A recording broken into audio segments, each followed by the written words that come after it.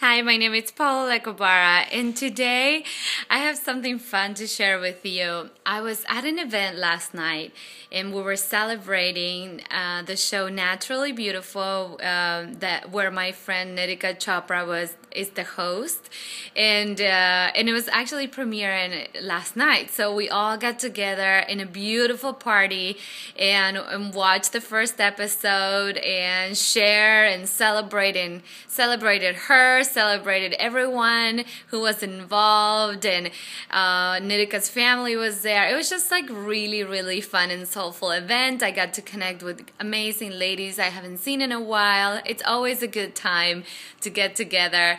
And you know, the best part well, not the best part, but one of the best parts came at the end where we got, and I want to show you, we got this uh, fun um, goodie bag uh, at the end, and it was really. Um, so I felt like I felt like a kid in a candy store because I'm like, oh my god, goodie bags, and I kind of remember um, what it feels like. What you know, we love to get stuff, and and especially you know when it comes in a goodie bag and all together and I want to show you a little bit of what I got um, just to share, but also um, I wanted to share something really cool about that. So I got some cards and some information of amazing people and sponsors of uh, the whatever the program and the the party.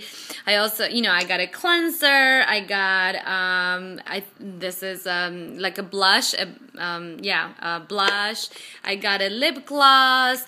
I got um, a sample of a perfume. I got an enzyme peel, which I'm very excited for. I got some shampoo and conditioner, and I got a serum for my my face. And I mean, you know, I was in heaven. This is just like fun.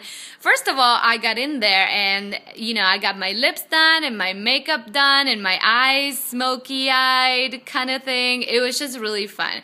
The only thing that now that I'm home and I'm looking at these products, I'm like, okay, wow.